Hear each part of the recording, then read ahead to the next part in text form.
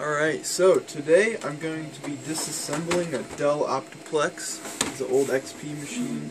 Um, and the way you open these up, you've got a tab on this side, and you've got a tab on this side. You're going to want to press that in in order to slide it open, just like that. Um, and then, what I usually do, I start taking all the stuff out. I take this card, video card we got, it's an expansion slot, take that out.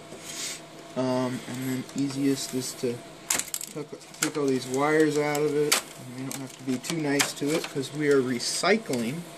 Um, and what, what we do with that is we take it to the scrap yard and they take it for us and they uh, combine everything and they do their thing with it. They recycle our stuff. So it's pretty neat.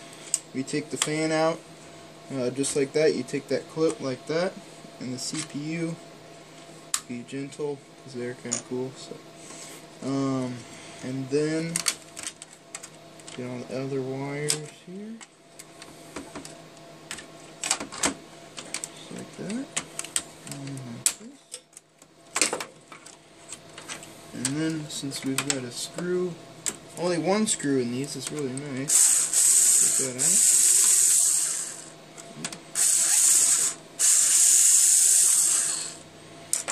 That. And then uh, you've got uh, sliders in the motherboards that attach it to the metal. So all you do is you push on right here, that's where I push, slide forward, and then once you hear it click, you can pull up.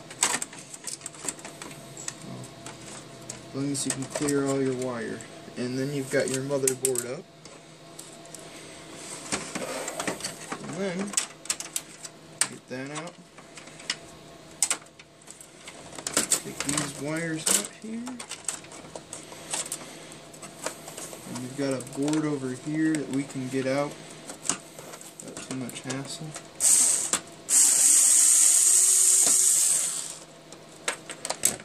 Take that screw out of there once you get all the wires off that's holding it in there. You've got one little metal tab that holds it down over here so what you've got to do is you've got to try to slide this side out out and up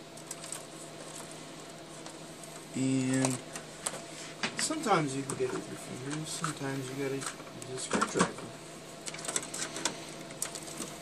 Pry that up. And, and you've got that board out.